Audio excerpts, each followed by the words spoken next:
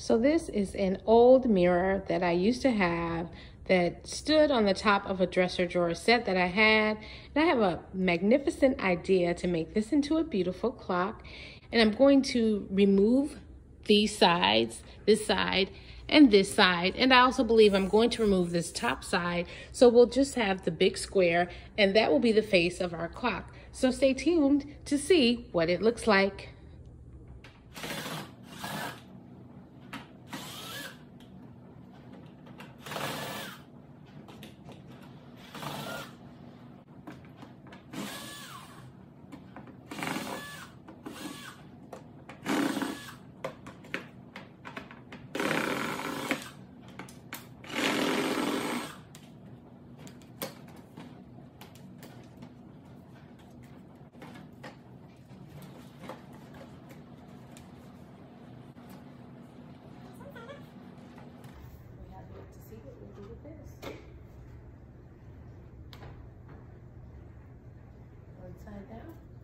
Side to go.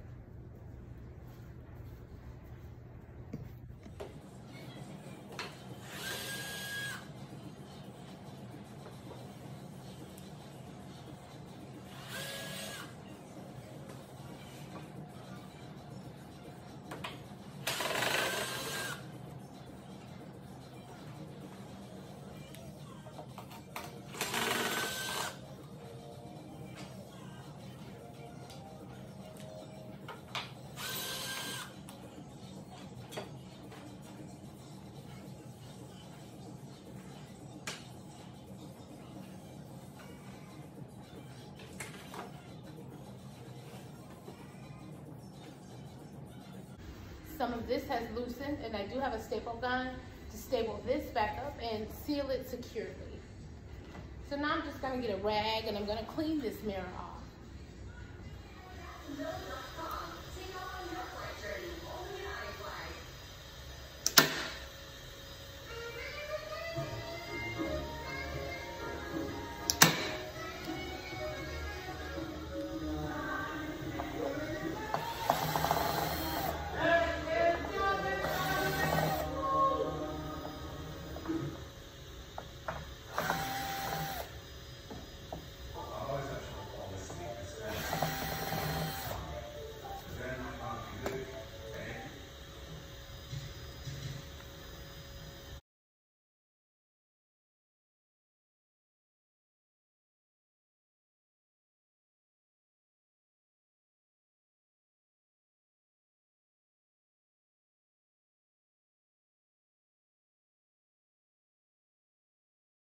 and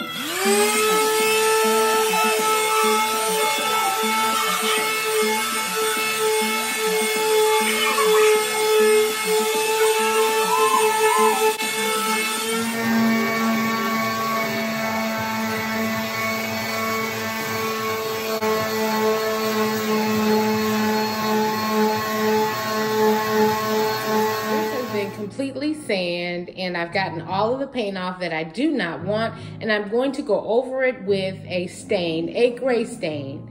And I also have a light to add. Okay, so next this is a neon flexible light. Runs by DC 12 volt extender to connect to around the rim and I'm gonna show you while I add this and you'll see exactly how that's done.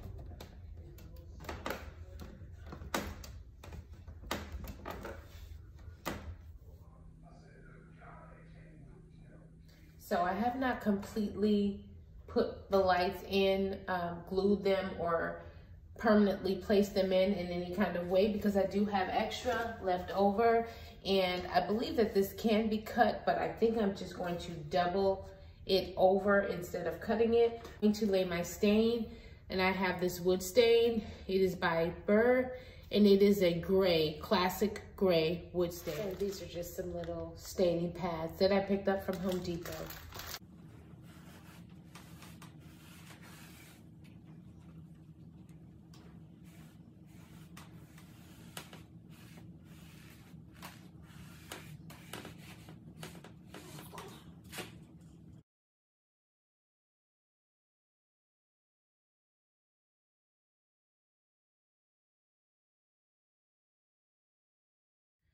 Now that the mirror has been stained, um, this is going to be the dial for my clock and I'm going to stain this wood as well. And I also have some acrylic pieces that I'm going to lay on top of that and you'll see that as we get there. But now I'm just gonna lay my stain on top of this wood, which will be part of my dial for my clock. Of the parts that I'm using for my dial, this is an old trusty piece that we've seen many times. It's purchased at the Dollar Tree. This was purchased from Amazon.com.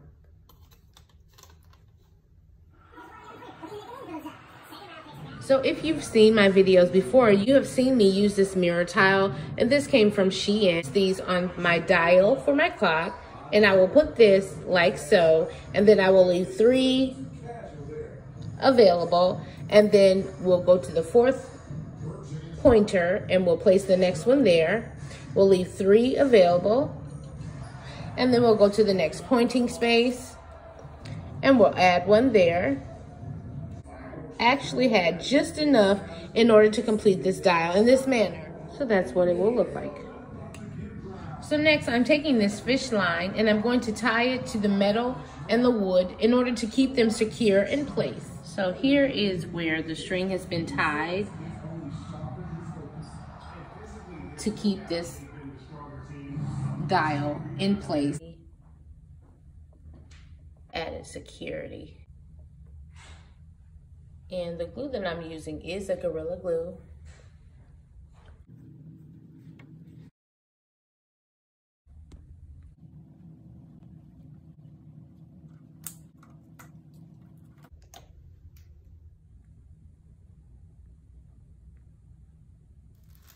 These are the hands for the clock and the dial spin.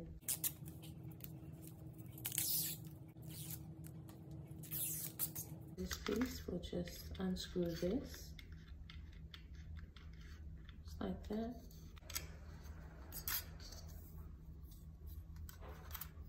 Make sure that I have the right one on top, and I think I do. Okay, so I have assembled this and actually the hour hand goes on first and the minute hand goes on last. So this requires a double A battery. I have added Next, that. I'm going to take these command strips and I'm going to stick it to here and I'm going to adhere the back of this to the top of this, which will be my dial pad.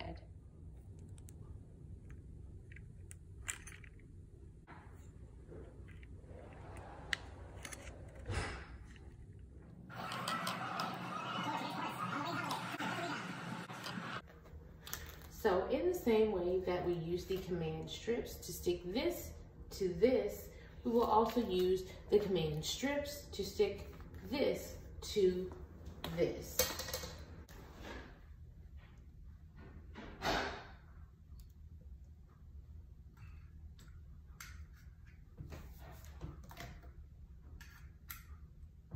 So the Velcro did not hold very well. So we're coming back with this and we're gonna use this to stick the dial to the mirror. And I'm gonna put two strips of this on, one on this side and one on this side and one in the middle.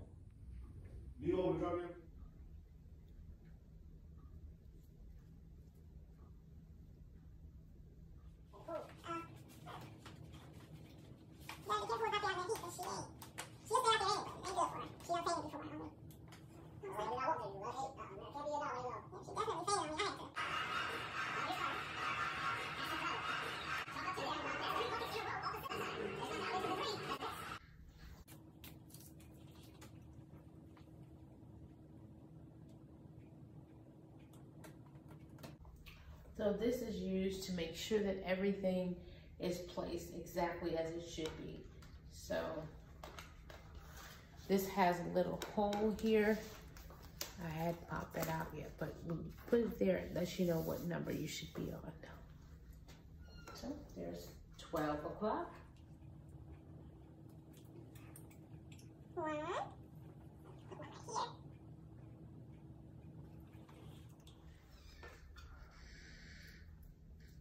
you're right. I mean, um,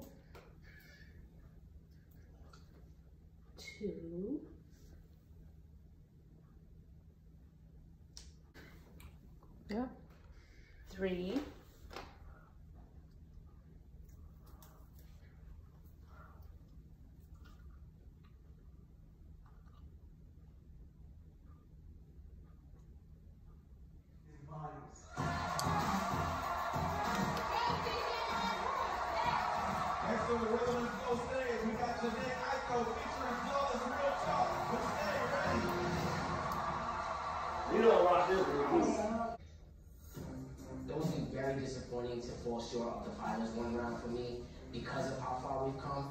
It's like I can see the finish line.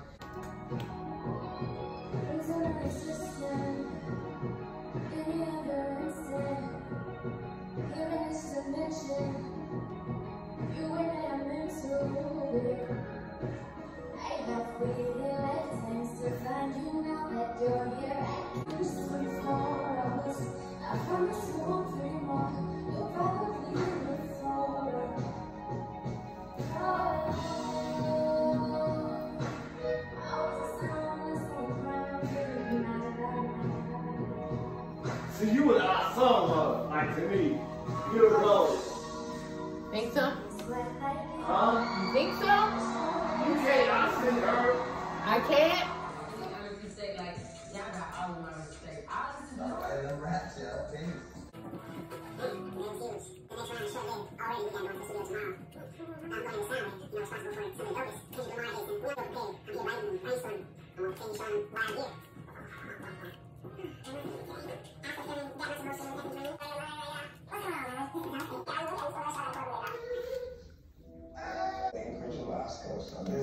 this was one hell of a reunion. No, I think my mom would be speechless. I'm still to help. Man's brother. You know, this this next performance would be for my brothers and my mom.